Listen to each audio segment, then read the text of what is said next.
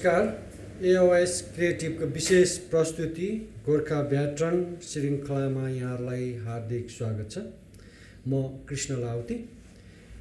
आजको बसाइमा British Gorkha army captain Namsingh Thapa Magar तथा boxer पनि हुनुहुन्छ। उहाँसँगको अन्तरङ्ग कार्यक्रममा यहाँहरू सम्पूर्णलाई स्वागत छ। सर्वप्रथम आजको पाहुना नामसिंह थापालाई स्वागत गर्नु गइरहेको छु नमस्कार यहाँलाई स्वागत छ कार्यक्रम नमस्कार हजुर धन्यवाद। तपाईँले मेरोलाई यत्रो प्रोग्राम गरिदिनु भएको अनि सबै दर्शकहरू जति छ उहाँहरूलाई ठुलो मेरो नमस्कार छ हजुर। आरामै हुनुहुन्छ? हजुर आरामै छ। हङकङ त निकै पो बस्नुभयो है बसियो हो। सबैभन्दा पहिले अब यो हङकङको बसाइभन्दा पनि म तपाईँलाई पुरानो तपाईँको पुर्खौली घरतिरबाटै आजको कार्यक्रमलाई उठान गरौँ भन्ने सोचिरहेको छु। तपाईँ कहाँ कहिले जन्मिनु भएको नेपालको आफ्नो पुरानो ठाउँको बारेमा यसो हाम्रो दर्शकहरूलाई बताइदिनुहोस् न। धन्यवाद हजुर अच्छा मेरो जन्म चाहिँ नि यो पोखरा अनि स्याङ्जाको बिचमा पर्छ एकदम विकट ठाउँमा छ। अनि मेरो गाउँको नाम बल्यौ भन्छ। बल्यो। बल्यौ त्यति बेला मनोकामना के अरे गाउँ गाविस थियो। गाबी थियो। अहिले चाहिँ नि हालैमा चेन्ज गरेर बिरुवा गाबी गरेको छ। अनि जिल्ला चाहिँ नि स्याङ्जै पर्छ। स्याङ्जा पर्छ। जन्म चाहिँ तपाईँको? बल्यौ गाउँमा कति सालमा जन्मिनु भयो? Good question. यो चाहिँ नि मलाई आमाले चाहिँ नि दुई हजार आठको भन् भन्नुहुन्थ्यो। मेरो छ्यामाले होइन त चाहिँ नि दुई हजार चारको हो भन्थ्यो। पक्का अब ऊ छैन है। रेकर्ड राख्ने चलन थिएन। थिएन। त्यो कारणले गर्दाखेरि कुनै नागरिकता पनि थिएन हेर्नुहोस्। पासपोर्ट पनि यहीँ पासपोर्टमै गएको त्यो ओलम्पिक गेम खेल्नु पनि। गर्दाखेरि पक्का निश्चित छैन जे होस्। अहिले पल्टनको त्यो उमा राखेको छु नाइन्टिन फोर्टी सिक्समा जन्मेको जे। 1946 चाहिँ आर्मीको रेकर्ड अनुसार चाहिँ। नाइन्टिन फोर्टी सिक्स आमाको रेकर्ड अनुसार चाहिँ two thousand eight. Vikram Sambat छ्यामाको अनुसार चाहिँ दुई हजार चार। बस अब तपाईँको बसाइ अब हङकङमा भएकोले ब्रिटिसले जुन दिएको छ जन्म मिति त्यही नै सदर हुने भयो। हजुर। होइन? ठिकै। कस्तो रहेको थियो तपाईँको त्यति बेलाको बाल्यकाल गाउँघरमा त अलिकति उचालकुद उप्राइ पाप्राइ कस्तो बितिरहेको थियो तपाईँको? अ, त्यति बेला चाहिँ नि सबै धेरै जस्तो त्यो फार्मिङमै जान्थ्यो। अनि ढोका तालाचेपी लाएर सबै खाली हुन्थ्यो। मैले अहिले अहिलेसम्म सम्झेअनुसार म तिन वर्षको केटामा मलाई बाजेले लानुहुन्थ्यो। ओ मारामा क्या गाई बस्तु गोठतिर, चढाउ जे जे हजुर, चढाउनलाई अनि त्यति बेला मलाई अझै पनि सम्झना छ त उसले गोरुलाई फर्काउँदाखेरि मलाई लात्ताले हिर्काएर उता पछाडि फालिदिएको पनि छ अँ, अम्, अनि म रुन्थेँ अनि त्यो पुरा चौर भयङ्कर थियो त्यसमा म दु गर्ने उ गर्ने गर्थेँ। त्यति बेलादेखि म फिटनेसको उमा चाहिँ नि आएको भन्नु त्यति बेला फिटनेसको। पनि आयो। नाइन्टिन सिक्सटी फोरमा चाहिँ तपाईँ ओलम्पिक बक्सरमा पनि जानुभयो यी कुराहरू चाहिँ फेरि फेरि पछाडिको तपाईँलाई म। जोड्ने नै छु। अहिले चाहिँ हामी त्यसो भए त्यस पछाडि तपाईँको बलेवा। बलेवाबाट चाहिँ तपाईँ त्यति बेला कहाँ भर्ती हुन जानु? गल्लावाल चाहिँ कहाँको गल्लाबाट चाहिँ तपाईँ भर्ती म गल्लाबाट होइन हजुर। ए। खास गरी मेरो बाबा पनि पल्टने हुनुहुन्थ्यो। अनि बुढोले फ्यामिली प्रमोसन पायो। ए। त्यस्तै पाँच छ वर्षको कति उमेरमा मलाई लियो। यता अब गाउँबाट पुरा हिँडेर आउनु पर्थ्यो। बुटोल बुटोलबाट सुनौली। सुनौलीबाट गाडीमा गएर उहाँ गोरखपुरमा। ए तपाईँ त्यति बेला गोरखपुर होइन बाबाको पालामा। बाबुको पालामा। त्यहाँबाट कलकत्ता यो डामडम छ नि हजुर त्यहाँबाट पानी जहाजमा जान्थ्यो। महिना दिन लाग्थ्यो त्यहाँबाट त्यो ऊ के अरे इपो भन्ने ठाउँ मलाएको। मलेसिया अहिले। हजुर। अहिलेको मलेसिया। इपो पेराकमा चाहिँ नि त्यहाँ पल्टन बस्यो। अनि त्यस्तै पाँच छ वर्षको उमेरमा म गोर्खा स्कुल पढेको त्यति बेला। गाउँमा चाहिँ थिएन स्कुल। त्यति बेला कुनै स्कुल थिएन हेर्नुहोस्। भनेपछि तपाईँ चाहिँ गल्लाबाट नभएर बुवाको जुन बुवा लाइन बोय भएर। लाइन। बोयको आधारमा। चाहिँ तपाईँ चाहिँ भर्ती हुनुभयो। तपाईँको त्यसो पढाइ पनि लेखाइ सबै गोर्खा उसमै भयो। गोर्खा चिल्ड्रेन स्कुलमै- चिल्ड्रेन स्कुलमै भयो। कति सालको कुरो हो यो करिब करिब यो दुई उन्नाइस सय त्रिपन्न nineteen fifty three fifty five त्यतितिर हो। त्यसको बादमा नाइन्टिन फिफ्टी नाइनमा इन्लिस्टेड गरेँ बोईमा तेह्र चौध वर्षको केटा थियो। अनि त्यही लाइन बा बाट सायद मलाई त भर्ती हुनु मन थिएन। बाबाको सायद फाइनेन्सियल प्रब्लम भयो या के भयो मलाई भर्ती गर्नुभयो। त्योभन्दा पहिला म चिल्ड्रेन स्कुल पनि पढ्यो त्यहाँ फुटबल पनि खेल्यो हामीले जित्यो पनि। मल्याई भयो यो मद्रासी टोली इन्डियन टोली चाइनिज चाइनिज। टोली अँ हामीले मैले हो गोल बनाएको है गोल बनाएर। यत्रो यो लाइट दिएको एउटा एक घन्टा लाइट। जे। त्यति बेलाको त्यति- बेलाको ट्रफी भनौँ। चिन्ताबहादुर साहब हामी एउटै टोली हो। भनेपछि तपाईँ लाइन बोयको आधारमा चाहिँ तपाईँ भर्ती हुनुभयो। कति सालमा चाहिँ कम्प्लिटली भर्ती के अरे आर्मीमा जोइन हुनुभयो? जोइन चाहिँ नि ट्रेनिङ सुरु गरेको उन्नाइस सय साठी। उन्नाइस सय साठी। जे जुनियर बोय भएर। उनीहरूले ब्रिगेड खासमा चौध वर्षको केटालाई भर्ती गर्थ्यो। ए त्यति बेला। त्यति बेला जे। गर्दाखेरि म कति चार फुट आठ इन्च थियो। असी पाउन्ड वेट नपुगेर होइन पानी खानु पठाउँदै गरेर गरेर है। त्यसरी भर्ती भएको। भर्ती भएपछि तपाईँ गोर्खा ट्रेनिङ के भन्छ तपाईँ जिटिसी? होइन बोइज कम्पनी। कम्पनी ब्रिगेड गोर्खासको ट्रेनिङ डेपोमा बसियो। भन्नाले यता गल्लाबाट जानेहरू र तपाईँहरूको त भिन्न भिन्नै ट्रेनिङ हुन्छ। भिन्न भिन्न भिन्नै। रिक्रुटको अलग्गै ठाउँ छ। हामी बोइज कम्पनीको चाहिँ नि बेग्लै। थियो। कति बेला चाहिँ अनि त्यो रिक्रुटिङ जुन उताबाट पग्लियाबाट आएको बोयहरू पनि हामीसँगै आयो। पछि। अँ, पग्ली आएको बोइज र तपाईँहरूको बोइज कम्पनी एकै ठाउँमा भयो। जो चाहिँ रेगुलर गल्लाबाट आउनेहरू उनीहरू चाहिँ बेग्लै। पग्लाबाट चाहिँ बेग्लै भयो। उनीहरूको ट्रेनिङ पनि बेग्लै थियो हाम्रो चाहिँ नि बेग्लै विशेष गरी मेनली एजुकेसनमा जोड दिन्थ्यो। अनि त्यो ट्रेनिङहरू चाहिँ नि फिटनेसमा बढी ध्यान दिने अनि एडभेन्चर ट्रेनिङ गर्ने योहरू धेरै गरियो। दुःख पाइयो। बोइज पछाडि कति बेला चाहिँ तपाईँको के अरे नम्बर पाउनुभयो त? एउटा नम्बर हुन्छ नि आर्मी नम्बर आर्मी नम्बर मेरो एक्काइस पन्ध्र सोह्र पचास हो। सोह्र पचास। त्यति बेलाको। त्यति बेलाको। बोय नामसिङ थापा। भयो नाम सिंह थापा त्यति बेला म यस्तो हुन्छ जे वान भनेको ठुलो धेरै अलिकति एजुकेसन राम्रो भएको केटाहरूलाई छान्थ्यो। त्यहाँबाट जे टू जे थ्री जे फोर जे फाइभ जे सिक्ससम्म थियो। जे टूदेखि जे भनेको जुनियर हो क्या जुनियर बोय। अँ, त्यहाँदेखि तलकोलाई चाहिँ नि हाम्रै गोर्खा एजुकेसन इन्स्ट्रक्टरले पढाउनुहुन्थ्यो। तर हामीलाई चाहिँ नि जो छ पक्का प्योर गोरा बेलायतकै स्कुल टिचरहरूले पढाउने गर्थ्यो। गर्दाखेरि मैले कति इन्टरमिडिएटसम्म पास गरेँ। त्यति बेला। हजुर। इन्टरमिडिएट भनेको एसएलसी त्यस्तै के होला? इन्टरमिडिएट भनेको ब्रिटिस आर्मीकै. अनि Duke of Edinburgh award silver medal पनि पाएँ मैले। हाम्रो जुन जे जे वानको टोलीलाई त्यस्तो त्यस्तो उहरू गराउँथ्यो। अब मेडलको पनि ठ्याक्कै कुरो आइहाल्यो। तपाईँको त छातीभरि मेडल छ। यो छातीको मेडलहरू एकचोटि हाम्रो दर्शकहरूलाई पनि देखाइदिनुहोस् न अब। ए यो मेडल चाहिँ नि अब यस्तो छ। अब यो चाहिँ नि म बर्नियो सारावकमा लडाइँ गरेको हो। त्यही बर्नियो मेडल हो।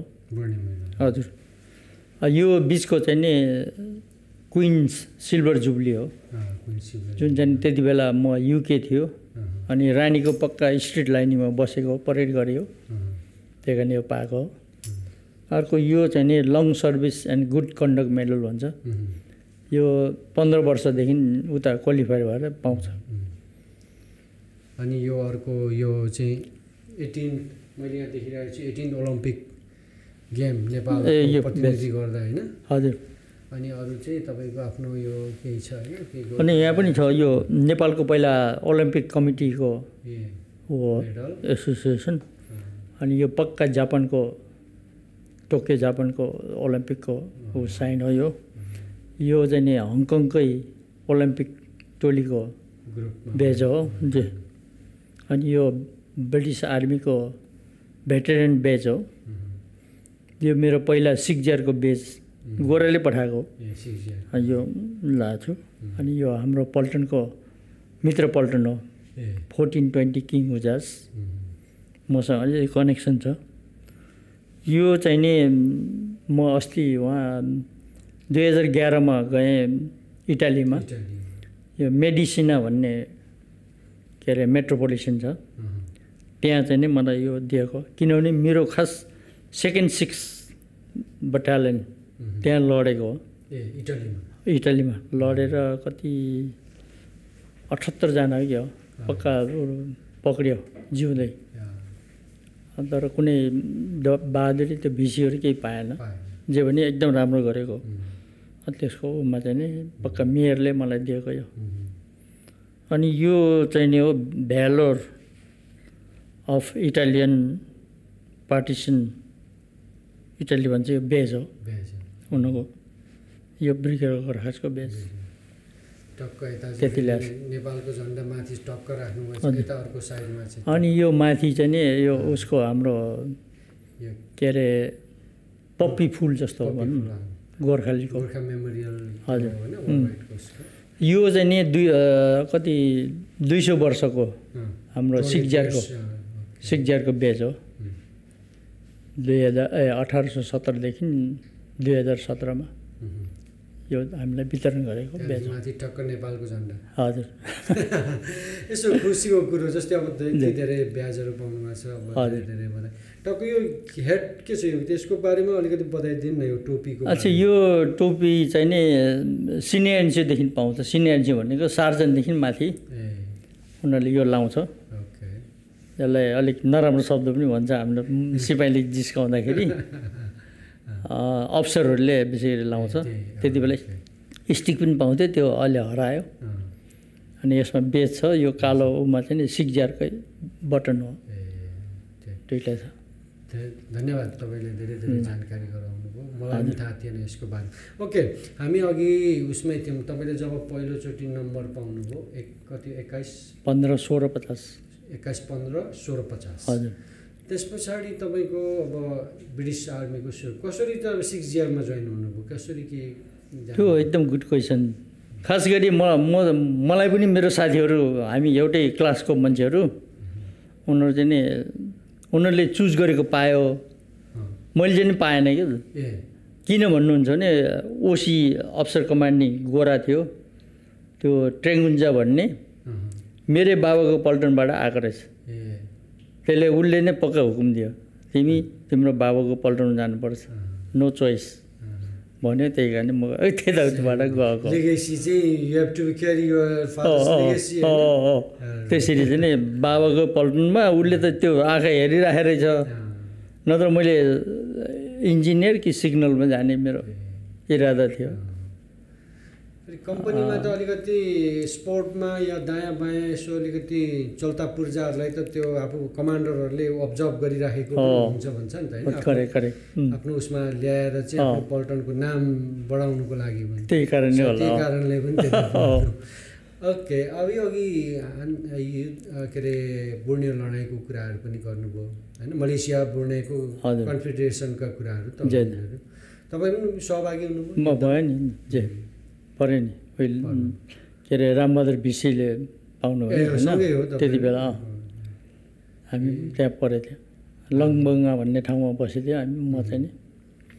जिउँदो रामबहादुर बिसी भनेको जिउँदो अहिलेको जिउँदो अहिले जिउँदा। उहाँ मात्रै छ।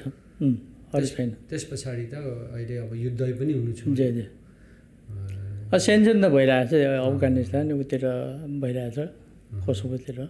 तर ब्रिटिसले पक्कै आफैले स्ट्रङली होल्ड गरेर युद्ध गरेको अवस्था चाहिँ अहिले कोलिसन कोलिसन फौजको रूपमा मात्रै भइरहेको त्यसो भए तपाईँ युद्ध कहाँ कहाँ बस्नुभयो त तपाईँको यो सर्भिसको दौरानमा कुन कुन देशमा बस्नुभयो आफूले सर्भिस गर्नु? गुड क्वेसन म चाहिँ नि अब पल्टनमा गएँ जुन मलायामा बसेँ होइन? सिङ्गापुरमा बसेँ बक्सिङ पनि त्यहीँ खेलेँ है पेनाङ भन्ने ठाउँमा खे बसियो खेलियो। त्यसको बादमा म सिनियर बोय भयो। जुनियर बोयमा चाहिँ नि एउटा नौलो के थियो भने सायद तपाईँहरूलाई थाहा छैन। हामीलाई सुत्ने हुकुम पनि दिन्थ्यो। ए सुत्ने। टक्कै दुई बजीदेखि साढे तिनसम्म सुत्ने। त्यहाँबाट चार बजी फेरि स्पोर्ट खेल्नु जानु पर्ने। बास्केटबल भलिबल फुटबल होइन। रेस्ट टाइम पनि हुन्थ्यो अनि त्यो रेसमा चाहिँ नि यत्रै बोतल ऊ के अरे दुध दिन्थ्यो एक घन्टा। जुनियर बोय हुँदाखेरि अनि के अरे त्यो माछाको तेल क्या कोड लिभर। ओइल। त्यो एक चम्चा खानै पर्ने हामी त खाए जस्तो गऱ्यो त्यहाँबाट एकतिर फालिदिने। अब त्यो गन्दै बस्नै नसक्ने थियो है। कहाँको मुखमा हाल्ने है? त्यहाँबाट सुत्नु पठाउँथ्यो। बोइ त अब को पुरा चलेछ बसेछ गुर्जी आएर फेरि डन्डाले सुम्काएको थियो। एकजनाले गल्ती गरेर सबैलाई पुरा। त्यसरी चाहिँ नि जिन्दगी गयो रमाइलो भयो जिन्दगी। त्यहाँबाट अँ सिनियर बोय भएपछि फेरि पुरा वेपन ट्रेनिङहरू के अरे फिल्ड क्राफ्ट त्योहरू होइन जुन सिपाहीले गर्नुपर्ने कामहरू सिकायो चाहिँ अनि क्लासिफिकेसन गर्ने। तपाईँको मेनली आर्मी हुँदाखेरि तपाईँको मेन चाहिँ के थियो आर्मीमा जस्तै होला नि त जस्तै अब कसैले गन ट्रेनिङ गराउने के के के के हुन्छ त्यसको अलिकति बताइदिनुहोस् न त तपाईँको विशेष के थियो त्यति बेला? मेरो खास रुचि त थिएन। यिनीहरूले अलिकति इन्टेलिजेन्ट मान्छे चाहिँ नि यो सपोर्ट कम्पनी राख्छ क्या। हाम्रो उमा। म चाहिँ नि मोटरम्यान हो। मोटरको चाहिँ नि एउ- एउटा डाँडादेखि पल्लो डाँडाको कुनामा पक्का टाइम फिट गरेर त्यो फायर फायर गरेर चाहिँ मिसै हुन्न। लन्च गर्ने हजुर। त्यसको ट्र्याजेक्टरीले जान्छ है। एउटा म्याप रिडिङ राम्रो बेरिङ सेट गरेपछि त्यहाँ ठक्कै जान्छ। त्यो त मेप रिडिङको कुराहरू पनि एकदम कडा हुनुपर्छ। सुरुवातमा तपाईँको कति वर्ष ट्रेनिङ पछाडि चाहिँ प्रमोसन हुने कसरी हुँदै गयो के छ? प्रमोसन चाहिँ नि म पहिला हाम्रो पल्टनमा उम्मेदर क्याडर भन्छ। त्यो उम्मेदर क्याडर मैले उन्नाइस सय छ्यासठमा गरेँ त्यही ब्रुनाइमै त्यति बेला मैले ए ग्रेड ल्याएको थिएँ। अनि अब क्याप्टेन हुन्छु भन्ने त आश थिएन है। जे होस् मेरो पहिलाको अब्जेक्ट चाहिँ नि इरादा अब क्याप्टेनसम्म म हुन्छु भन्ने ऊ थियो भए। मलाई त्यही खुसी छ। गर्दाखेरि अब कोर्स ट्रेनिङ चाहिँ भयङ्कर हिँडायो मलाई। एकदमै। अब धेरै नै गरियो जुन तपाईँलाई पठाएको छ होइन? मैले थोरै हेरेको थिएँ। जस अलिकति जस खुसी लाग्यो त्यो तपाईँले इमेल गरिदिनु भएको थियो। पोस्टिङहरू हङकङमा चाहिँ कति कुन कुन अब मलाई बस्नुभयो त्यस पछाडि युके जानुभयो कुन कुन देशमा चाहिँ तपाईँहरूको पोस्टिङ हुन्थ्यो त्यति बेला? अब युके भयो होइन? मलाई मलाई भन्थ्यो त्यति बेला कुलाङ इपो के अरे यता। सेरेम्बन होइन? त्यस्तो ठाउँमा बसियो सा दुई दुई वर्षको चेन्ज चेन्ज टर्म हुन्छ क्या? बोर। बोर हुन्छ भनेर। त्यहाँबाट फेरि यो ब्रुनाइमा बसियो होइन? त्यहाँबाट नाइन्टिन सिक्सटी टूतिर हो क्या? सिक्सटी थ्रीतिर हो ब्रुनाइको त्यो कन्फ्रन्टेसन भयो। सिक्सटी सिक्ससम्म। त्यहाँबाट अब त्यहाँ त्यति बेला चाहिँ सेकेन्ड इयर थियो के सेकेन्ड इयरको गोर्खेको खुट्टै समायो बिचरा सुल्तानले सुल्तान मै जत्रो थियो अहिले अहिले त बोल्किया छ उसको छोरा हो। पुरानो सुल्तान चाहिँ? पुरानो। बाबु ओमर अली भन्ने बाबा चाहिँ नि। अनि उसले महेन्द्र राजालाई पनि भेट्यो। अनि म हामी डाइरेक्ट गोर्खाली भर्ती गर्छौँ भनेर उसले स्वीकृति पनि आयो तर ब्रिटिसको कारणले होला दिएन। दिएन। हङकङ चाहिँ आर्मी। कालमा पनि आउनु पर्यो है? लाउरे हुँदाखेरि पनि हङकङ आउनु आएको नि म त नाइन्टिन सिक्सटी थ्रीमा पहिलो स्टेप यहाँ खुट्टा टेकेको। सिक्सटी थ्रीमा। सिक्सटी टूमा। सिक्सटी टूमा। त्यति बेला पनि तपाईँहरू दुई दुई वर्ष नै। दुई दुई वर्षै ल्याउँथ्यो नि। रोटेसन रोटेसन हुन्थ्यो। अब जस्ट इन्ट्रेस्टिङ कुरो चाहिँ के छ के लागेको छ भने मलाई जस्तै तपाईँहरूको इन्फेन्ट्री ग्रुप अनि जस्तै यो क्विन्स गोर्खा इन्जिनियर अनि सिग्नल यो जिटिआरको बेग्ला बेग्लै हुन्छ। नि होइन? त्यसको बारेमा अलिक बताइदिनुहोस् न त। अच्छा त्यो अब लामो हप्ता? हप्ता दिनकै हुन्छ त्यो गऱ्यो भने त होइन? जस्तो। अब हामी इन्फेम इन्फेन्ट्री बटालियनको चाहिँ नि कम्पनी यस्तो हुन्छ। जस्तो एबिसिडी होइन? त्यहाँबाट सपोर्ट कम्पनी।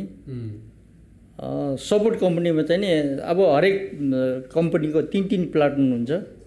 है फेरि प्लाटुनमा बाट अझै तल सेक्सन हुन्छ है। प्लाटुनमा झन्डै बत्तिसजनाको मान्छे हुन्छ। स्ट्रेङ होइन। कम्पनीमा चाहिँ नि झन्डै एक सय एक सय बिसको हुन्छ। त्यहाँ बटलाइनमा एराउन्ड थाउजन्ड मान्छेको हुन्छ। अनि जति पनि सपोर्ट कम्पनीमा हुन्छ त्यहाँ चाहिँ नि एमएमजी प्लाटुन थियो पहिला रिखी प्लाटुन थियो। अनि मोटर प्लाटुन थियो के अरे यो पाइनर प्लाटुन भन्ने सेम इन्जिनियरको काम के? तर। सानो सब स्टेसन। सब स्टेसन होइन। त्यस्तो हुन्छ। अनि एन्टी ट्याङ्क भन्ने त्यो ट्याङ्कलाई चाहिँ कसरी छिपो गरेर मार्ने। त्यो। मैले पनि गरेँ है। त्यो हुन्छ। गर्दाखेरि अब अर्को चाहिँ नि हेड क्वार्टर कम्पनी हुन्छ। हेड क्वार्टरमा चाहिँ नि त्यो भान्सेदेखि लिएर होइन? गाडी चलाउने त्यो सिग्नल्स सबै त्यहाँ हुन्छ। तर तपाईँले भने जस्तो त्यो इन्जिनियर चाहिँ नि होइन उनीहरूको आफ्नै ठुलो हुन्छ के अरे कोप्सको हाम्रो चाहिँ नि एउटा हेड क्वार्टर कम्पनीको हेड क्वार्टरभित्र बस्छ। बस गर्दाखेरि मेन के अरे अर्गनाइजेसन चाहिँ त्यति हुन्छ। विशेष गरेर तपाईँहरू युद्ध लड्ने भयो इन्जिनियरको। काम चाहिँ अर्को पुल सुलदेखि लिएर। होइन। इन्फ्रास्ट्रक्चर। बनाउने भयो सिग्नलले चाहिँ नि कम्युनिकेसनको कम्युनिकेसन पास गर्ने भयो जिटिआरले चाहिँ अँ, लोजिस्टिकहरू सम्बन्धित। ठाउँमा पुऱ्याउने भयो बडा इन्ट्रेस्टिङ तरिकाले बनाएको हुन्छ राम्रो बनाएको. त्यस पछाडि अब इन्ट्रेस्टिङ कुरो के भने तपाईँ अब बक्सर पनि हो तपाईँ मैले त पढाएको छु तपाईँको एक्सिडेन्टली कसरी बक्सर हुनुभयो भन्ने. हाम्रो दर्शकहरूलाई पनि बताइदिनुहोस् न तपाईँको बक्सिङ केरियरको सुरुवात कसरी भयो? ए अब यस्तै हो। अब होइन हामी अब त्यो चौध वर्षको केटामा के को ऊ छ र म त टोइलेटतिर लुक्नु जान्थेँ। त्यहाँबाट गुरुजीले त्यहाँ कानमा समाएर उहाँ रिङमा लयो है ग्लोभ लगाइदियो. मैले छुट्टाइ बेसरी खाएँ। टम टम गर्दा मलाई त रिस उठ्यो है। त्यहाँबाट म पनि पुरा स्विङ गर्दै गएँ है बरु जितेछु मैले त्यहाँबाट मेरो चाहिँ नि अब बक्सिङ करियर चाहिँ नि सुरु भयो भनौँ. त्यसरी हो त्यहाँबाट म पल्टनबाट ए पल्टन नहुँदा पनि पहिला बोईमा म यो के अरे ऊ पेनाङ भयो मलायमा अनि सिङ्गापुरमा खेलिएको थियो. त्यति बेला मैले जितेको हो. अनि हाम्रो टोलीमा कोही यति साह्रो पञ्च दिन्थ्यो यो हुकसुक केही दिन्थेन क्या स्ट्रेट। स्ट्रेट। स्ट्रेट लेफ्ट यति कडा हान्थ्यो है। त्यसले चाहिँ नि त्यो दाँत बाङ्रा झार्ने मात्रै होइन कि यतातिर हिर्कायो भने एउटा चिनालाई पकायो भने त हाम्रो गोर्खेले पकायो हिर्कायो अनि त्यो सिङ्गापुर हामी लड्नु जाँदाखेरि एउटा म पनि थियो. अनि ऊ चाहिँ नि एम्बुलेन्स लिएर गएको बाटो बाटो लगेर त मरेछ. के भयो भनेर त्यहाँ भित्र एक्सरे गरेको त तिनवटा करङ पुरा मान्छे। भाँचियो रहेछ अँ. त्यसरी मर्छ। मान्छे बक्सिङ भन्ने चाहिँ होइन यो पन्चले मात्रै हान्ने तर यो गतिलो हिटमा गतिलो उमा चाहिँ नि त्यसको टार्गेट हुन्छ कि? त्यो टार्गेटमा हिर्कायो भने त्यो के अरे कराते सराते केही चाहिँदैन एकदम सिम्पल ल। त्यस्तो। एउटा गोलीले चाहिँ एउटा दुश्मन मान्छेले भन्छ बक्सिङ भने चाहिँ ए यो मान्छे ग्लभले मात्रै हेर्ने माथि मात्रै हिर्काउने हो भन्छ नि तर त्यसले गतिलो दियो भने मारिदिन्छ. होइन जस्तो मेघबहादुर राईले पनि अब उसको जारलाई मार्यो. मेरै गुरुजी हो त्यो मान्छे है यो त्यसो भए तपाईँ त्यो बक्सिङ पनि एक्सिडेन्टली त्यो लुक्दा लुक्दै अचानक। ट्रेनिङ गर्नुभयो। यो सिक्सटी फोरको ओलम्पिक पनि अलिकति बताइदिनुहोस् न कसरी तपाईँहरू सहभागी हुनु किन तपाईँ त हङकङ बेसमा हुनुहुन्थ्यो Hong Kong army British army Hong Kong बेसमा। हुनुहुन्थ्यो। नेपालसँग त कनेक्ट त थिएन यो त। नेपालको। झन्डाबाट बोके नेपालबाटै तपाईँहरू खेल्नुभयो। यस्तो भयो म चाहिँ नि अब त्यति बेला सानो सानो स्टार जस्तै भएको थिएँ होइन. बक्सिङ अब बोइज कम्पनी चौध वर्ष त्यहाँबाट पन्ध्र वर्षसम्म खेलियो। अनि जित्यो पनि त्यहाँबाट पल्टनमा गएपछि ल अब बक्सिङको चाहिँ नि नाम निशान हरायो भनेर म चाहिँ नि खुसी भएर चट्टै बसेको थियो त्यहाँबाट त्यहाँ उमा हामी पनि पुग्यो त्यहाँबाट बक्सिङको फेरि उत्पन्न भयो। उत्पन्न भयो हामी त अब जान्ने बुझ्ने भनेर हामीलाई त्यो सानसानो नो बाइजमा इन्भल्भ गराएन। भन्नाले ब्रिगेड गोर्खा- गोर्खासको पनि त्यहाँ सेलेक्सन भएको थियो। हामीलाई खेल्न दिएन। किनभने म त हङकङको उबाट पनि खेलियो। पहिला पल्टनमा खेलियो। पल्टनमा पनि मलाई खेल्न दिएन। यो चाहिँ यसले चाहिँ खतम बनाउँछ भनेर होला या के हो होइन? अनि त्यहाँ खेल्न दिएन तर इन्स्ट्रक्टर जस्तो गऱ्यो है होइन? त्यसको बादमा यो खास गरी बिल्ली टिङ्गल भन्ने उहाँ चाहिँ नि अस्ट्रेलियनको इन्डिभिजुअल बक्सर हुनुहुन्थ्यो। उहाँले चाहिँ नि सायद मेरो पर्फर्मेन्स देखेर हो या के हो होइन? ओलम्पिक जानुपर्छ। भनेर उसले चाहिँ नि सोच गर्यो। त्यहाँबाट हाम्रो के अरे महेन्द्र राजा सरकारलाई चाहिँ नि निवेदन दिएछ। निवेदन दियो त्यहाँबाट उताबाट स्वीकृति पायो। अनि नेपालबाट दुईवटा म्याराथन रनर आयो। अनि हामी चारजना बक्सर सेलेक्टेड भएर हामी चाहिँ गएको।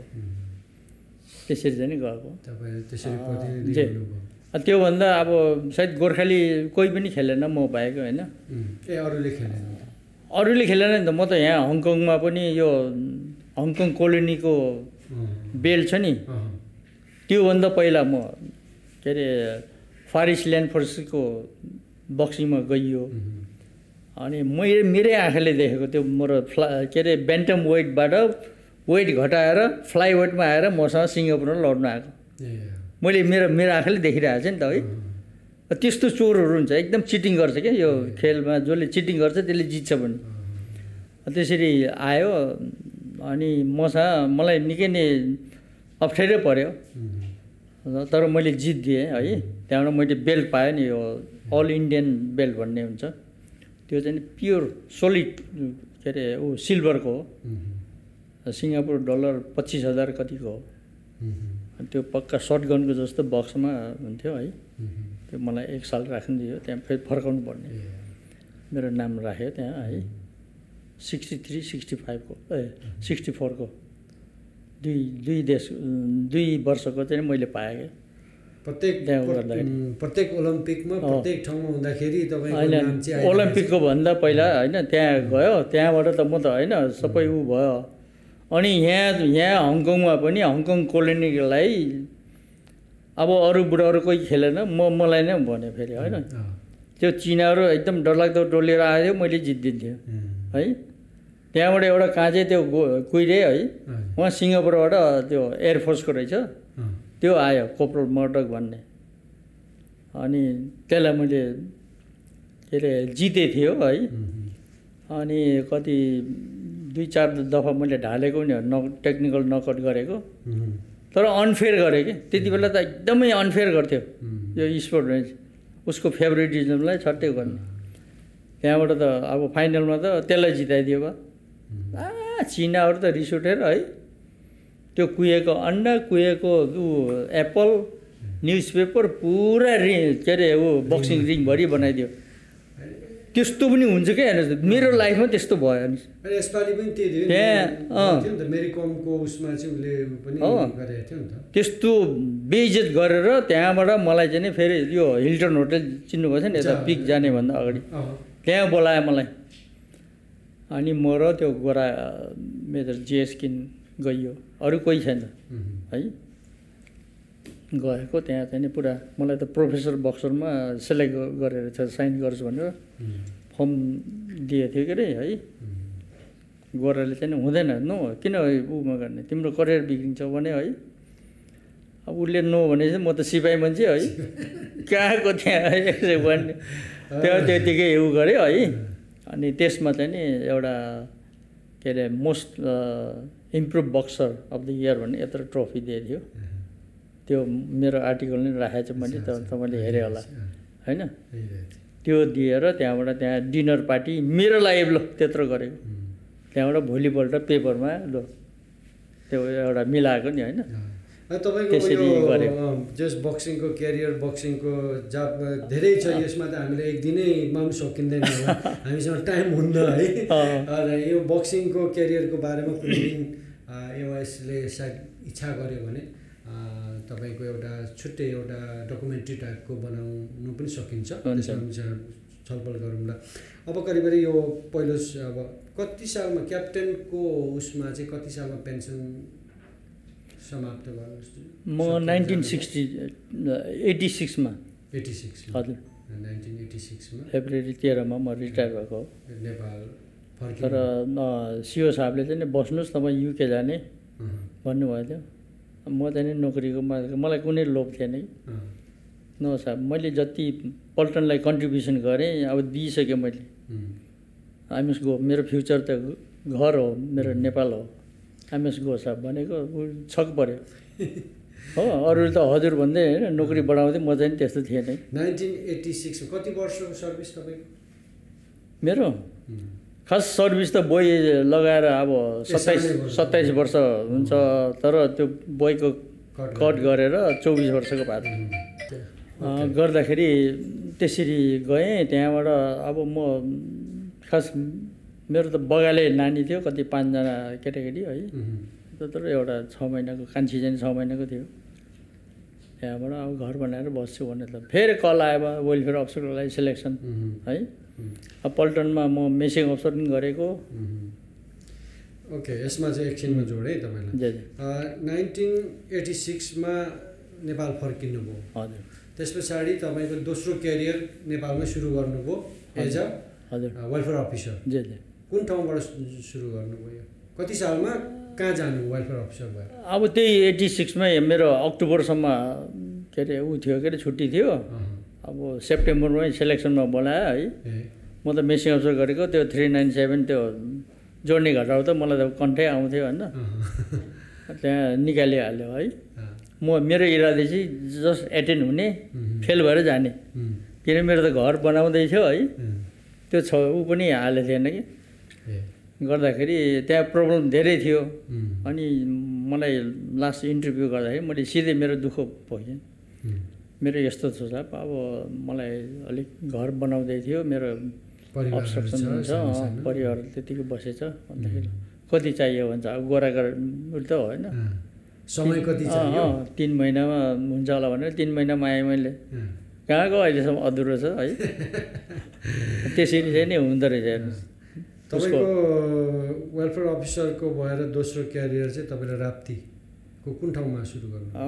राप्तीमा पहिला छवटा डिस्ट्रिक्ट थियो त्यति बेला होइन?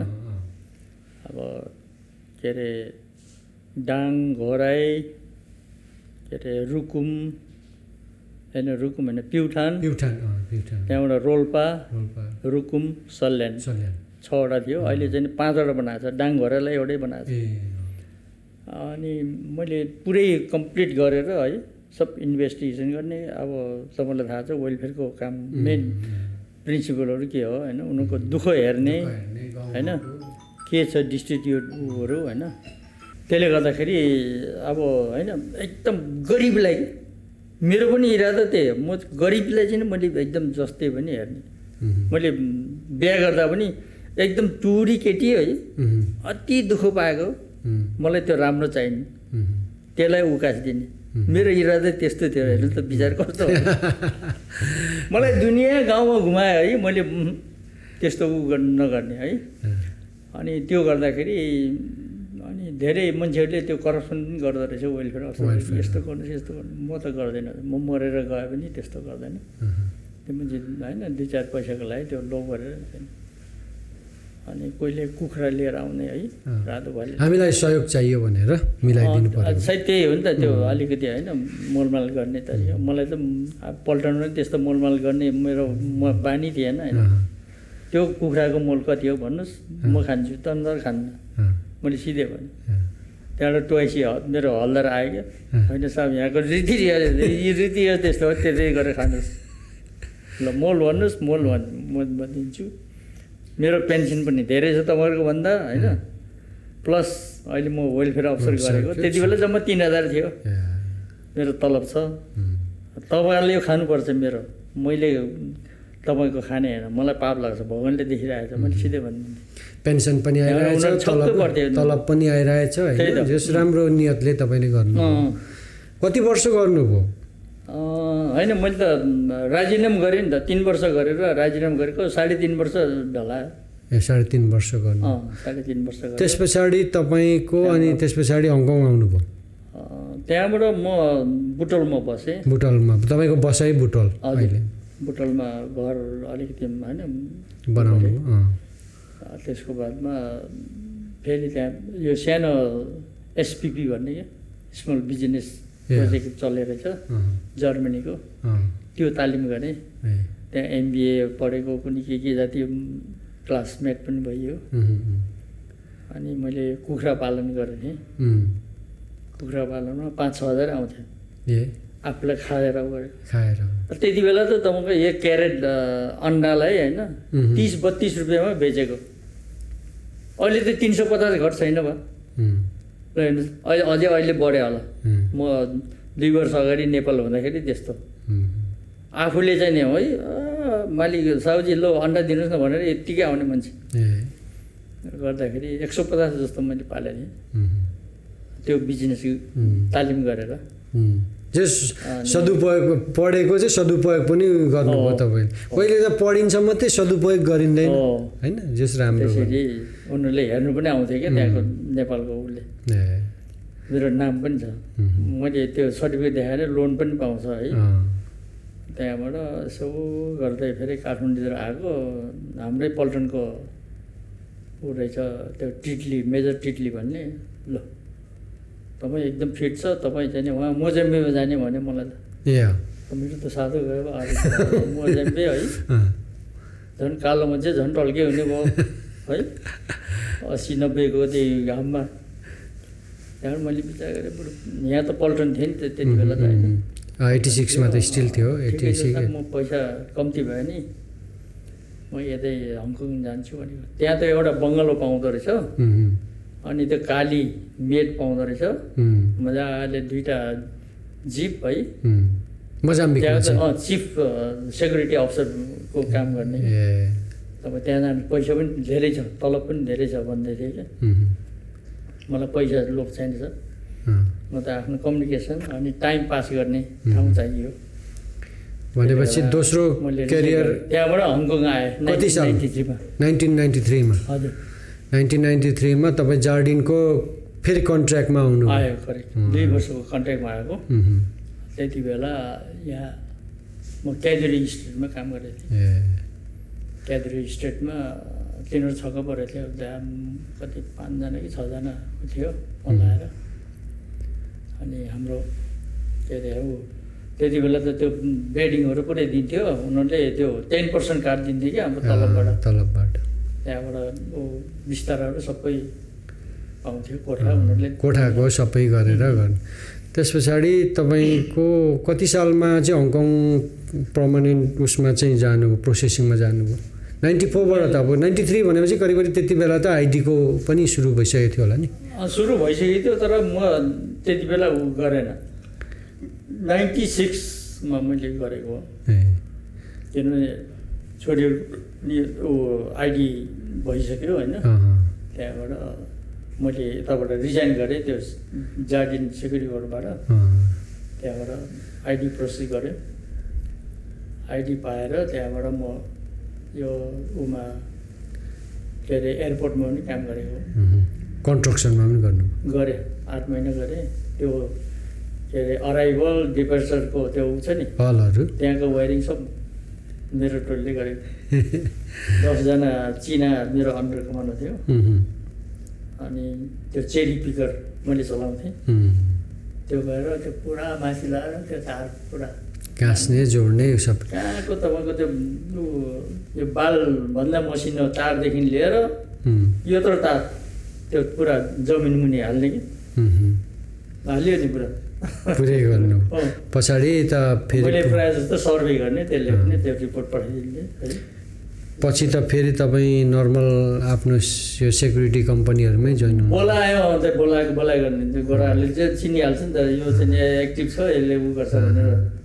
भरे म के अरे त्यो कन्ट्याक्ट गरेर कति उमा गएको थियो क्या नेपाल गएको थियो। पाँच दिन पनि पुगेको थिएन हेर्नुहोस्।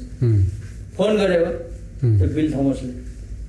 त्यो तपाईँ तुरुन्तै आउनु पऱ्यो भने त्यत्रो हजारौँ क्याप्टेन छ हेर्नुहोस् न मलाई नै फेरि। तानेको भरे त आएको त उहाँ। त्यो चुनमुनको पिलर पोइन्ट छ नि भिट्नामिसिरी पिछिमा गएको थियो त्यही खाँदियो ओहो। त्यहाँ चाहिँ नि मैले धेरै लेसनहरू सिकेँ तपाईँको ड्रप है। के अरे युजिङ के अरे ऊ डेलिभरी त्यहाँबाट ऊ के अरे बेच्ने के? सेलिङ। सबै गर्ने। त्यहाँ चाहिँ आइडिया त्यो ऊ पुलिस मेरै छेउको कन्ट्रोल पोस्टको छेउमा छ। त्यसले चाहिँ पिपिङ ऊ होल बनाएर हेर्ने है। पुलिसहरू पहिला जस्तो थियो पहिला त कहाँ थियो? गोराहरूको विश्वासमा बस्थ्यो एकदम। है? हामी गोर्खेको विश्वासमा बस्थ्यो कि? तिनीहरू त थमना मात्रै त्यहाँ। त्यसरी उ गऱ्यो त्यहाँ त त्यो कस्तो रहेछ भने भिटनामको त केटाकेटी मिल्यो है? बुढाबुढी हो भनेर आउने। त्यहाँबाट तिनीहरूको त त्यहाँभित्र फाइटिङ हुँदो रहेछ। आ, कोही सुइसाइड गर्ने कोही बिग ब्रदरहरू है? त्यहाँ त किसिम किसिम भयो नि सब मेरै उमा अब आउने। त्यहाँ आर्मीको जति नै ट्याक्टिस लगायो भने अह तपाईँको त्यो ऊ छ नि फेन्स पेरिमिटर। मैले आउटर इनर है पट्रोल गराएँ त्यो यताबाट नि पट्रोल गर्ने यताबाट नि पट्रोल गर्ने। अघि नै बिहान त बस चार फिट बाई चार फिट त्यो। फेन्स त काटिहाल्ने काटेर उसको ड्रग सप्लाई गरिहाल्दो रहेछ नि त। त्यहाँबाट पिटरलाई मैले फोन गरेँ ल। त्यहाँ चाहिँ नि ऊ ड्यामेज छ ओके सर भन्थ्यो बिचरा रिपेयर गर्न आउँथ्यो। जस त्यसरी सुरुवात अहिले को को हुनुहुन्छ हङकङमा चाहिँ? अहिले परिवार? मेरो म बुढी म अनि दुइटा छोरी छ। दुइटै छोरी। यहीँ हुनुहुन्छ। हजुर। जस रिटायर अहिले कम्प्लिटली रिटायर हुनु कम्प्लिट रिटायर हो। एजले पनि तपाईँको करिब करिब seventy. Seventy five seventy five seventy five दुई अर्कोले त सेभेन्टी फोर के अरे दुई हजार चारले त तपाईँ फेरि उता सेभेन्टी फोर सेभेन्टी अर्को दुई हजार आठले त यता सत्तरी मात्रै हुनुहुन्छ नि फेरि सत्तरी वर्ष ओके यो कस्तो छ तपाईँको आर्मी लाइफ र यो पछाडि चाहिँ रिटायर्ड लाइफ? भन आर्मी लाइफ त्यस पछाडि तपाईँको हङकङमा सेमी रिटायर्ड लाइफ भनौँ न। त्यस पछाडि अहिलेको पूर्ण रिटायर लाइफको बारेमा हाम्रो दर्शकहरूलाई बताइदिनुहोस् न त। अच्छा आर्मी लाइफ त एउटा एक किसिमले पक्का प्रिजन लाइफ जस्तो थियो। हामी कुनै उमा बाहिर जानु पऱ्यो लेख्नु के अरे गार्ड रुममा लेख्नुपर्ने थियो। त्यहाँबाट एघार बजे ठक्कै आउनुपर्ने त्यस्तो थियो। अनि एकदम त्यति बेला अब पहिला भनौँ न होइन खाना नौ बजे हुन्थ्यो। ब्रेकफास्ट थिएन। अनि त्यति बेला पक्का लाइफ कुखुरा लाइफ के अरे बाख्रा है त्यो काट्थ्यो फटी खटाउँथ्यो। अनि तिन औस हप्तामा तिन औस सिकार पाउँथ्यो। डाडुले कुकले तर्साइदिन्थ्यो। त्यहाँबाट ऊ के अरे चामल पनि फुल खानु नपाउने। त्यो मिस्टिनले थाप्यो चट्ट काटेर दिने। अब मलाई त झन्डै ठिकै हुन्थ्यो। मभन्दा ठुल्ठुलो मान्छे त बिचरा भोकले भोके। चुर। अनि त्यस्तो गरेर पुरा त्यो भाँडा पनि क्लियर गर्थ्यो। त्यसरी भएन अब त्यहाँ बाहिर के अरे मी खान जान्थ्यो। मी झन्डै पचास रुपियाँ ए पचास पैसा। पचास सेन्ट? अँ पचास सेन्ट अनि एक डलरमा म गतिलो पाउँथ्यो मासु पनि गतिलो अहिले त चालिस पचास डलर भन्छ। अनि त्यो जमाना त्यस्तो थियो हेर्नुहोस्। गर्दाखेरि अब अहिले आर्मीमा चाहिँ नि एकदम जे कुरा पनि के अरे भनेपछि गर्नै पर्ने होइन। हुनै पर्ने। दुरुस्त। त्यो पनि हन्ड्रेड पर्सेन्ट? त्यो हन्ड्रेड पर्सेन्ट। कुनै लेबर छैन। Labor अनि। त्यति बेला जम्मा दुईवटा ऊ पाउँथ्यो कमिज र जाङ्गे के अरे एक दिन लगाएपछि खतम पसिनाले है। त्यो कलप लाएर स्त्री लाएर है त्यो स्वाट्टै ढाडी त्यो के अरे जाँगे फालेपछि ठक्कै अड्किने थियो बल्ल पास हुन्थ्यो। त्यस्तो जमाना थियो हेर्नुहोस्। अनि त्यस्तोमा चाहिँ नि राइफल फेरि पुरा साफ गर्नुपर्ने खुकुरी त्यस्तै साफ गर्नुपर्ने। टल्किनु पऱ्यो अति टङ। अब जम्मा एक दुई दुई पेयर मात्रै थियो त्यति बेला एउटा दिनदिनै साफ गर्नुपर्ने। त्यो ओजी कपडा भन्ने। अहिले चाहिँ नि पक्का नाइलनको छ सबैतिर ऊ छ होइन? धेरै पनि छ। गर्दाखेरि त्यो अहिले पुरा परिवर्तन भएछ धेरै। अनि त्यति बेला पहिला हामी चिठी लेख्नु पर्थ्यो। जुन कुरा मैले लेखेको चिठी तिन वर्षको बाद मैले भेटाएँ पक्का हो हेर्नुहोस् नेपाल पुग्दाखेरि किनभने अब पढ्ने मान्छे थिएन है? त्यो पढ्नेलाई उहाँ कुखुराको मासुसँग भात खुलाउनु पर्ने उसलाई पढाएपछि लो मलाई के भन्यो भनेर सबै आउँथ्यो फेरि गाउँको मान्छेहरू। तपाईँले लभ लेटरले लभको कुरो लेखे सबैले सुन्नु सबले सुन्ने. त्यस पछाडिको रिटायर लाइफ त अलिक राम्रै भयो नि तपाईँको। रिटायरमा चाहिँ नि अब अलिक आफ्नो होइन भयो। अब त्यति बेला त चाइनिजसँग त्यो हेमतेम गर्नै पाउने थिएन तपाईँको भित्रै अब प्रिजन जस्तो? कैदी जस्तो उ गर्ने। इङ्ग्लिस पनि बोल्नु दिन्थेन है। नेपालीमै भन्नुपर्ने त्यो बुढाहरू मूर्ख थियो के अरे। त्यस्तो टोली अनि त्यसरी चाहिँ नि जीवन बितायो होइन। अब अहिले रिटायर लाइफमा अहिले जुन हामी आइडी होल्डर धेरै अन्तर छ नि. अब हामी जता गए पनि भयो जता खाए पनि भयो जता होइन। जे गरे पनि हिँड्नु आनन्द छ नि। कानुनी दायराभित्र जे भयो। त्यही त. त्यस्तो फ्रिडम चाहिँ नि थिएन. त्यति बेला चाहिँ ठक त्यो टाइममा काम गरेको हुनुपर्ने. त्यो हुनुपर्ने गुर्जिएलाई चाहिँ जसरी हुन्छ खुसी बनाउनु पर्ने. हेर्नुहोस्। त्यो चिया पनि त्यो पक्का चिनी राम्रो लागेको हुन्थेन. त्यस्तो चिया उहाँ बिहान चार बजे उठेर लिन जानुपर्ने पुरा झाडु लाएर पत्ता बढालेर है छरी काटेर किसिम थियो त्यति बेला बुढाहरू। जस एक किसिमको त्यस्तो गरेर पोइन्ट बिचराहरू अवसर हुन्थ्यो त्यो बुढाहरू कहाँ थाहै थिएन नि त बिचराहरू। त्यस्तो जमाना थियो हेर्नुहोस् अहिले चाहिँ रिटायर लाइफ हजुर। कसरी बिताइराख्नु भएको छ त? अब अहिले चाहिँ नि म मेरो रुटिन मैले राख्छु होइन? जस्तो बिहान म पाँच बजीतिर उठ्छु. फट्ट अब एक गिलास पानी खान्छु. त्यहाँ कुद्नु जान्छु झन्डै दस चक्कर लाउँछु मैले. एउटा स्टेडियम छ फुटबल ग्राउन्ड छ? स्टेडियम छैन गार्डन छ। पार्क। त्यो पार्क निकै लामो छ. त्यसको पुरा लाउँछु। पहिला यता स्टेडियम हुँदाखेरि त्यसको बाह्र चक्करसम्म लाउँथेँ मैले. त्यहाँबाट बाह्र चक्कर अलिक बुढो मान्छे भएन छ चक्कर चाहिँ लाउँथेँ. त्यसको बादमा यो प्रेसअप हन्ड्रेड है. यो सिटअप हन्ड्रेड.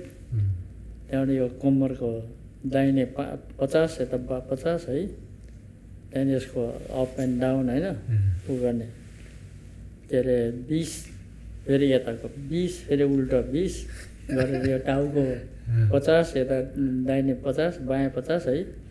गरेर छ्याङ्ग भएर बल्ल। हात धोएर बिस गरेर है. त्यहाँ म जान्छु कोठामा। त्यो त देखिन्छ तपाईँको अहिलेको यो यो सत्तरी वर्षको उमेरमा सत्तरीभन्दाको अलिक माथिको उमेरमा पनि हामीभन्दा फिट हुनुहुन्छ त्यो त देखि अनि बेलुका पनि मैले पाएँ भने धेरै त गर्दैन एक दुई चक्कर लाउँछु त्यहाँबाट आउँछु। निद्रा मिठो लाग्छ कि. जस त्यसरी चाहिँ नि जिन्दगी बिताइरहेको छ अब करिब करिब हामी अनि डे डेमा चाहिँ नि म लाइब्रेरीमा जान्छु होइन। अरू मलाई त्यो। सपिङ सपिङ त्यो मलाई मन पर्दैन है। त्यो बाहिरको खानै मलाई मन पर्दैन। आफ्नै के अरे आफैले पकाएको खानु खान्छु मैले। ठिक छ। धेरै तपाईँको धेरै कुराहरू गर्नु थियो समय हामीसँग अलिक कम छ। के छ अन्तिममा तपाईँको केही भन्नु छ भने तपाईँ हाम्रो दर्शकहरूलाई गोर्खा। भेटरन भान्जा भान्जी सबैलाई केही भनिदिनुहोस् न त। मेरो अनुभव अनुसार तपाईँहरू चाहिँ नि धेरै के अरे जाँड खाएर चुरोट खाएर होइन अनि नचाहिँदो डिस्कोमा गएर नचाहिँदो स्पेन्ड नगर्नुहोस्। तपाईँको पैसाभन्दा ठुलो हेल्थ हो। हेल्थमा चाहिँ नि एकदम केयर हुनुहोस्। अनि मेरो जस्तै एउटा रुटिन राख्नुहोस्। हो तपाईँहरू कोही डेमा हुनेलाई गाह्रो छ नाइट हुनेलाई गाह्रो छ।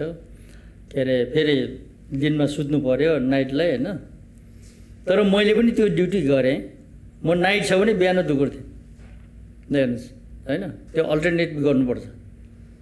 अब डेमा छ फेरि राति दस बजीसम्म मैले दुगर्थेँ त्यो आफ्नो प्रोग्राम चाहिँ नि राख्यो भने ठिक हुन्छ। अनि विशेष गरी हामी मासु बढी खान्छौँ होइन? यो सबभन्दा एकदम म्याक्सिमम् हामीलाई लाग्ने कोलेस्ट्रोल भन्ने बिमार हो। कोलेस्ट्रोलले मुटुलाई नै हल गरिदिन्छ। तर यो रनिङ गऱ्यो भने तपाईँको वेटदेखि लिएर तपाईँको के अरे मुटुको एक्सर्साइज राम्रो हुन्छ अनि लङ लिभ हुनसक्छ। है यो नचाहिँदो के अरे रेड बुल रे त्योहरू म त पताउँदैन। जुसहरू सब केमिकल मिसाएको हुन्छ नखानुहोस्। पक्का अमृत पानी हो पानी खानुहोस् होइन? तातो बनाएर या त चिसो बनाएर होइन? त्यो चाहिँ नि पक्का बोइल गर्नैपर्छ होइन? बोइल गरेर सेलाएर खानुहोस्। तपाईँ स्वास्थ्यमा राम्रो हुन्छ। नचाहिँदा फ्याट टु मच नखानुहोस्। बङ्गुरो सिकाएर सबलाई मनपर्छ तर नखानुहोस्। ल यति भन्दै तपाईँहरूको भविष्य एकदम उज्जवल रहोस्। अनि पैसा कमाउनुहोस्। आफ्नो देशको माया छ। आफ्नो घर के अरे के जग्गा जोड्नुहोस् मजाले बस्नुहोस् अहिले यो दुःख गरेको होइन? जति नै कुल्ली भएर गयो त कुल्ली भन्ने शब्द त नेपालमा त राम्रो मान्दैन होइन? जे भए पनि अब बेलायतको मान्छे जस्तो ब्रिगेडियर मान्छेले है चट्ट टाई साई लगाएर त त्यहाँ घर उमा गएपछि बारबार सब गर्छ बाल काट्छ। पैसा लियो चट्ट फेरि सुट बुट लाउँछ टाई लाउँछ बस। सर। त्यस्तो तरिका हुनुपर्छ क्या। यो हाम्रो अलिकति प्रगति छैन होइन? नेपालमा चाहिँ नि सबै बसेर खाने मात्रै भन्छ। तर बसेर खाँदा पनि झन् उसलाई नचाहिँदो रोग आउँछ। त्यसले गर्दाखेरि टाइममा चाहिँ नि उठ्नुहोस् टाइममा सुत्नुहोस् टाइममा खानुहोस्। यो टाइम चाहिँ नि सबभन्दा टाइम इज मनी भन्छ अङ्ग्रेजीले होइन? टाइमलाई चाहिँ नि एकदम सदुपयोग गर्नुहोस्। तपाईँ सदु सत्य राम्रो हुन्छ। मान्छे है। यो भन्दै तपाईँहरूलाई ल मेरो हार्दिक हार्दिक शुभकामना अनि यो जनै पूर्णेको हार्दिक हार्दिक शुभकामना छ। धन्यवाद। धन्यवाद। त्यो तपाईँको अमूल्य समयको लागि आउँदो दिनहरूमा पनि भयो भने फेरि अन्य कुराहरूको बारेमा छलफल गरौँला। हजुर। धेरै धेरै धन्यवाद। नमस्कार थ्याङ्क यू हजुर।